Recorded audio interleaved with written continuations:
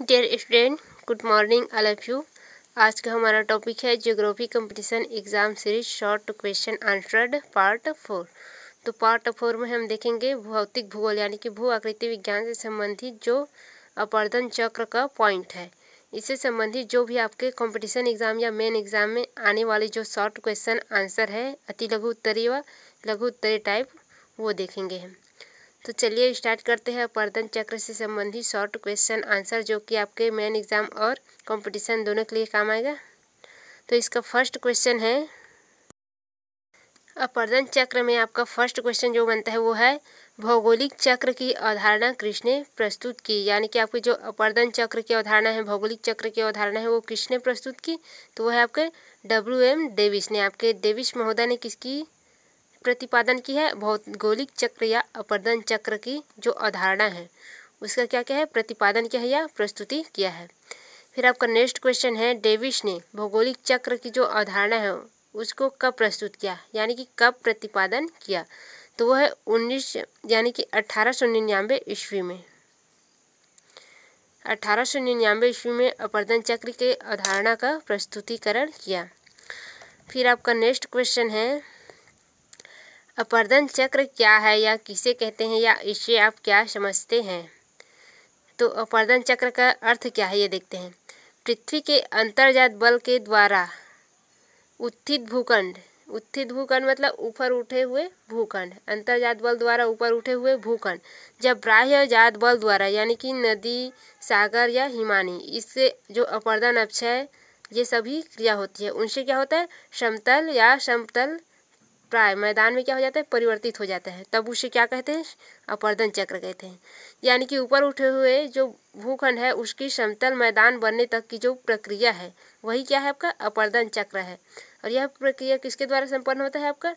तो ब्राह्यजात जो बल है, बहिर्जात बल है, नदी है, सागरी है और हिमानी है, इनके द्वारा होता है। फिर आपका नेक्स्ट क्वेश्चन जो है, वो है भौगोलिक चक्र से क्या तात्पर्य है? ये आपका अपर्दन चक्र हो गया। अब भौगोलिक चक्र देख लेते हैं, इससे क्या तात्पर्य है? तो भौगोलिक चक्र समय की वह अवधि है, यानी कि वह समय, जिसके अंतर्गत क्या होता है? एक उत्थित भूखंड, यानी कि ऊपर उठे हुए भूखंड, अपर्दन प्रक्रम के द्वारा। अपर्दन प्रक्रम मतलब अपर्दन करने वाले जो कारक है, नदी, हिमानी जल, जो भी है, प्रभावित होकर आकृति विहीन, यानी कि समतल मैदान में बदल जाता है। यानी कि आपकी जो क्वेश्चन है, अपर्दन चक्र, भौगोलिक चक्र ये दोनों के क्वेश्चन के आंसर सेम होंगे। क्वेश्चन भी सेम है, बस थोड़ा परिवर्तन करके पूछ देते हैं। तो ये है आपका भौगोलिक चक्र से आशय। यानी कि आपके ऊपर उठे हुए भूखंड क्या हो जाता है? समतल मैदान में परिवर्तित हो जाता है। आपके प्राह्यगत जो प्रक्रम है, उसके द्वारा। तो ये है आपका भौगोलिक चक्र और अपर्दन चक्र। और आपके ये जो ऊपर उठे हुए भूखंड है, वो किसके द्वारा निर्मित होता है? तो अंतर्जात बल के द्वारा। वलन है या आपके जो जो पटल होता है, भूपटल में परिवर्तन होता है, वलन के द्वारा, वो वाला है आपका, आंतरिक बल के द्वारा होता है इसमें। पटल विरूपण कहते हैं इसको। पटल विरूपड़ी विरूपण। इसके द्वारा क्या होता है, जो उत्थित स्थान, यानी कि ऊपर उड़ता है, क्या होता है, स्थान ऊपर उड़ता है पटल विरूपण द्वारा। और जो बहिर्जात बल है, नदी है, हिमानी है, इनके द्वारा जो अपर्दन क्रिया है, उसमें क्या होता है? ये ऊपर उठे हुए जो स्थान है, वो समतलीकरण हो जाता है, यानी कि समतल मैदान बन जाता है। यही जो क्रिया है, वो क्या है? भौगोलिक चक्र या अपर्दन चक्र है। फिर आपका नेक्स्ट क्वेश्चन है इसमें। सामान्य अपर्दन चक्र से क्या तात्पर्य है? ये आपका इसी का तीसरा क्वेश्चन आ गया। देखिए सेम सामान्य अपर्दन चक्र समय की वह अवधि है, जिसके अंतर्गत, क्या होता है? अंतर्जात एक उत्थित, यानी कि अंतर्जात, अंतर्गत बल द्वारा, अंतर्गत बल द्वारा। एक उत्थित भूखंड, नदी के द्वारा क्या होता है? प्रभावित होकर आकृति विहीन, यानी कि समतल प्राय, यानी कि समतल प्राय मतलब समतल मैदान में परिवर्तित हो जाता है। इसमें भी सेम वही आंसर आ रहा है कि एक अंतर्जात बल द्वारा एक उत्थित मैदान है, भूखंड है, वो क्या हो जाता है?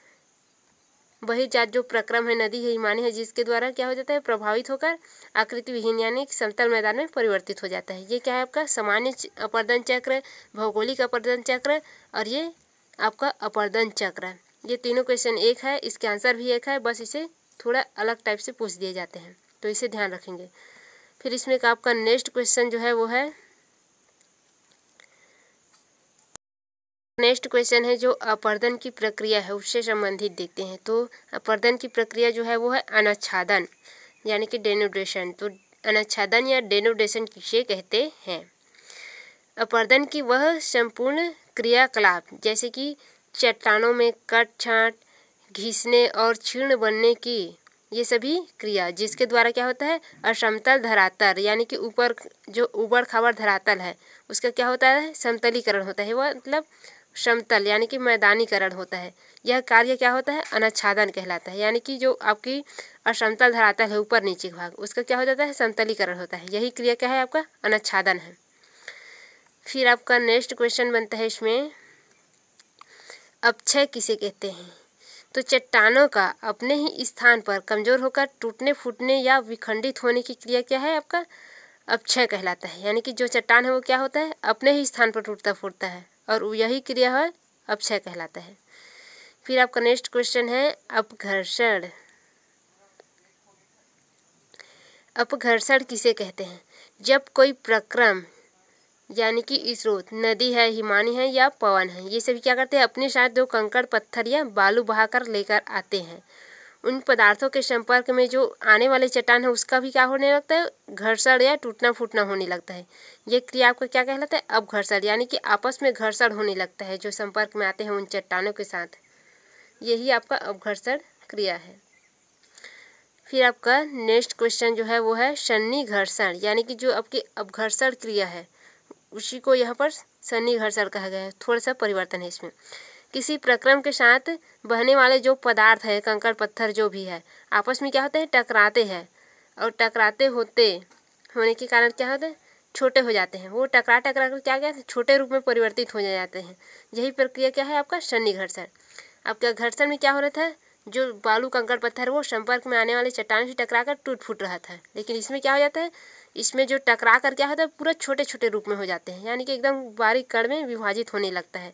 तो ये आपका होता है सन्नी घर्षण। यानी कि घर्षण के बाद भी पुनः घर्षण होता है, जिससे छोटा रूप धारण कर लेता है। ये होता है आपका सन्नी घर्षण। फिर आपका नेक्स्ट क्वेश्चन बनता है इसमें। अपर्दन चक्र के व्यवधान से क्या तात्पर्य है? अपर्दन चक्र व्यवधान मतलब समस्या।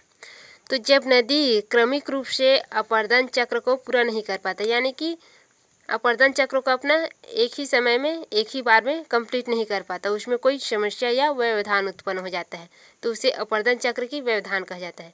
और ये व्यवधान किन किन कारणों से उत्पन्न होता है तो वो है भूपटल का अवतलन, यानी कि नीचे धंसे हुए भाग या उत्थान ऊपर धंसे हुए, ऊपर उठे हुए भाग, ज्वालामुखी क्रिया और जलवायु परिक्षेपिया ये सभी कारण उत्तरदायी है जो कि नदी अपर्दन के, जो मध्य में क्या करता है? व्यवधान उत्पन्न होता है। फिर आपका नेक्स्ट क्वेश्चन है इंसेल वर्ग किसे कहा जाता है? ये आपका इंसेल वर्ग है, यह किसे कहा जाता है? तो इंसेल वर्ग एक जर्मनी का भाषा का जो है, परिभाषित शब्द है। जिसका तात्पर्य क्या होता है? पर्वत द्वीप है, द्वीपीय पर्वत होता है। इस प्रकार। जो शुष्क क्षेत्र या रेगिस्तानी क्षेत्र है, उसमें क्या होता है, जो कठोर चट्टान होते हैं, वो अपर्दित नहीं होते और ऊँचे, उठे ही रह जाते हैं जो मुलायम चट्टान है, वो क्या हो जाता है अपर्दित होकर चला जाता है। तो इसमें जो टीला ऊपर उठे, बच जाते हैं कठोर चट्टान, वही क्या होता है आपका इंसेल वर्ग कहलाता है। यानी कि आपका ये जो रेगिस्तानी शुष्क क्षेत्र है, इसमें क्या हो जाता है अपर्दन होता है। तो अपर्दन होता है तो इसमें क्या हो जाता है, जो कुछ शुष्क है, वो क्या है अपर्दित हो जाता है और कुछ भाग ये टीले के रूप में बचे ही रह जाते हैं। तो यही जो कठोर चट्टान है, जो टीले के रूप में बच जाते हैं, इसे ही क्या कहते हैं? इंसेल वर्ग कहते हैं। और यह प्रक्रिया किस क्षेत्र में होता है? रेगिस्तानी, यानी कि शुष्क क्षेत्र में होता है। फिर आपका नेक्स्ट क्वेश्चन है, वो है इंसेल वर्ग का निर्माण कैसे होता है? तो इंसेल वर्ग का निर्माण अक्षय व अपर्दन क्रिया के द्वारा होता है। फलता है। ये कोमल चट्टान को क्या करता है? काट छाट लेता है, लेकिन जो कठोर चट्टान है उसको ज्यो का तो खड़ी रहता है, उसको नहीं काट छाट सकता है।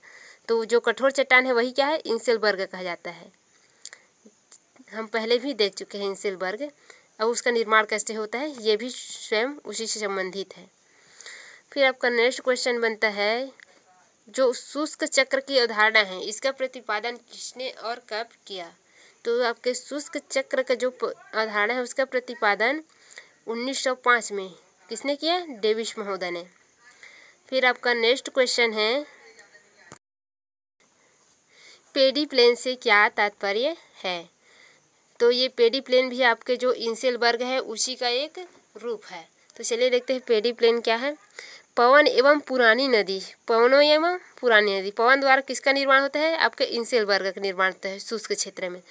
तो पवन व पुरानी नदियों द्वारा जब कोई उत्थित भूखंड, यानी कि ऊपर उठे हुए भूखंड, यानी कि उससे निर्मित क्या होता है? मैदान, जिसमें क्या यत्र तत्र ऊँचे उठे हुए टीले, यानी कि यहाँ वहाँ, यत्र तत्र मतलब यहाँ वहाँ ऊपर उठे हुए टीले, उनमें क्या होता है? इंसेल वर्ग कहते हैं। ये आपका पवन एवं पुरानी नदियों द्वारा एक उठित मैदान है, भूखंड है, ऊपर उठे हुए भूखंड है। इसमें जो, क्या है, इसमें मैदान निर्माण होता है। इससे निर्मित ये मैदान है, ये ऊपर उठे भूखंड, ये मैदान है। इसमें यत्र तत्र क्या है, ऊपर उठे हुए मतलब ऊपर नीचे उठे हुए, यहाँ वहाँ क्या है, टीले दिखाई दे रहे हैं। ये टीला है, ये आपका छोटे छोटे टीला है, इसे क्या कहते हैं, इंसेल वर्ग कहते हैं। तो एवं, जिसका ढाल अधिक होता है, इसका ढाल क्या है, अधिक है। तो ये ऊपर उठे हुए जो टीला है, उसका जो ढाल है, उसे क्या कहते हैं पेडी प्लेन कहा जाता है। यानी कि जो इंसेल वर्ग है, उसी के जो अधिक ढाल होता है, उसको पेडी प्लेन कहा जाता है और यह शुष्क क्षेत्र में निर्मित रहता है। ये, आपका शॉर्ट आंसर हो गया। इंसेल वर्ग के जो अधिक ढाल वाला क्षेत्र है, उसे पेडी प्लेन कहा जाता है। फिर आपका है, मोनाड नाक। मोनाड नाक से क्या तात्पर्य है? तो ये आपके प्रतिरोधी शैल, यानी कि जिसका क्षरण नहीं होता, यानी कि कठोर चट्टान। प्रतिरोधी शैल के भाग, अपर्दन अवशेष के रूप में यत्र तत्र मतलब यहाँ वहाँ संप्रदाय संप्रदाय मैदान के सतह पर दिखलाई देते हैं। यानी कि समतल मैदान की सतह पर क्या दिखलाई देते हैं? कुछ अवशेष दिखाई देते हैं, यानी कि कठोर चट्टान दिखाई देते हैं। उसे ही क्या कहते हैं? मुनार नाक कहा जाता है।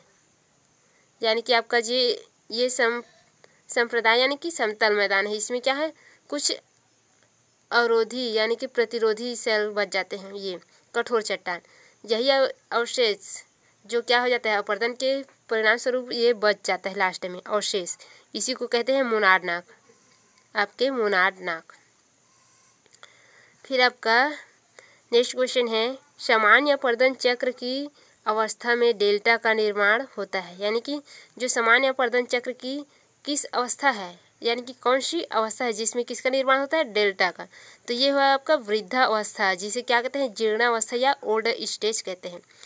तो ये वृद्धावस्था में कैसे होता है? जब नदी बहते हुए जाता है और सागर से मिलता है, यानी कि उसका अंतिम संगम होता है, उस स्थान पर क्या हो जाता है? नदी जो है अपना जो अवसाद है, उसे ढाल कम होने के कारण वहाँ पर जमा हो जाता है तो वही आपका डेल्टा बन जाता है। तो ये किस अवस्था में होता है? वृद्धावस्था में। फिर आपका नेक्स्ट क्वेश्चन है अपर्दन चक्र की किस अवस्था में बलुका स्तूपों का निर्माण होता है? ये आपका युवा अवस्था में होता है। जो बलुका स्तूप है, उसका निर्माण युवा अवस्था है। जब नदी बहते हुए जाती है और कुछ पदार्थों को लेकर उसमें क्या जमते जाता है तो वही युवा अवस्था में क्या होता है? बलुका स्तूप का निर्माण। फिर है आपका नेक्स्ट। शुष्क चक्र के किस अवस्था पर पेडीमेंट का निर्माण होता है? शुष्क चक्र अवस्था मतलब रेगिस्तानी जो क्षेत्र होता है, उसमें क्या होता है, शुष्क क्षेत्र होता है तो वहाँ के जो चक्र है, किस अवस्था में, यानी कि किस स्तर पर पेडीमेंट का निर्माण होता है तो ये है आपका प्रौढ़ अवस्था यानी कि सेकेंड स्टेज पर। प्रौढ़ अवस्था युवावस्था, प्रौढ़ावस्था, यानी कि सेकेंड स्टेज है, इसमें क्या होता है आपका, पेडीमेंट का निर्माण होता है, और पेडीमेंट क्या है? ये आपके इंसेल वर्ग का सबसे अधिक ढाल वाला क्षेत्र है। ये आपका इंसेल वर्ग है, इसका ढाल वाला जो क्षेत्र है, ये पेडीमेंट है। इसका निर्माण प्रौढ़ावस्था में होता है, यानी कि सेकेंड स्टेज में। फिर आपका नेक्स्ट क्वेश्चन है। इस वीडियो में इससे संबंधित कोई भी डाउट हो या क्वेश्चन हो तो आप डिस्क्रिप्शन में जो व्हाट्सएप लिंक है वहाँ से जाकर ज्वाइन होकर क्वेश्चन पूछ सकते हैं। हम उसे हल करने का प्रयास करेंगे। फिर आपका नेक्स्ट क्वेश्चन है।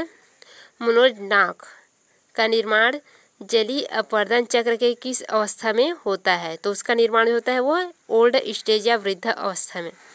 फिर है पेडीमेंट किस भाग में निर्मित होता है? तो ये शुष्क भाग में निर्मित होता है, ये हम पहले ही भी बता चुके हैं। फिर आपका भूस्वरूप संरचना, प्रक्रम और अवस्था का प्रतिफलन है या कार्य है। यह अवधारणा किसने दी? तो डब्ल्यू एम डेविस ने दिया। ये आपके जो डेविस के जो अपर्दन चक्र है, उसमें मिल जाएगा। ये उसका जो एक कथन है या अवधारणा है, यानी कि भू स्वरूप, यानी कि स्थिर रूप की संरचना, प्रक्रम और अवस्था का प्रतिफलन है। ये दिया हुआ है आपके बुक में। ये कार्य को यहाँ पर ला दिया गया है। तो इसमें कंफ्यूज नहीं होंगे। ये क्या है? भू स्वरूप, यानी कि स्थिर रूप या उच्चावच, संरचना, प्रक्रम और अवस्था। ये तीन चीज़ की क्या है? प्रतिफलन है या उसका परिणाम है। ये कथन किसका है? डेविस का है। फिर सेकेंड है, किससे यानी कि किसके संप्रदाय मैदान के बदले पेडी प्लेन अवधारणा दी गई? तो एलसी किंग ने किसकी अवधारणा दी थी? संप्रदाय यानी कि समतल मैदान की अवधारणा दी थी। उसे बदल कर क्या किया गया? पेडी प्लेन की अवधारणा प्रस्तुत की गई। फिर आपके कठोर चट्टान का दिखाई देने वाला धरातल क्या कहलाता है? तो आपके कठोर चट्टान की जो दिखाई देने वाला धरातल है, वह हमादा कहलाता है। तो ये सभी आपके क्वेश्चन कंप्लीट हो गए इससे संबंधित। यदि इससे संबंधित कोई भी डाउट क्वेश्चन है आपके दिमाग में तो वो आप व्हाट्सएप ग्रुप में सेंड कीजिएगा। हम उसे हल करने का प्रयास करेंगे। धन्यवाद।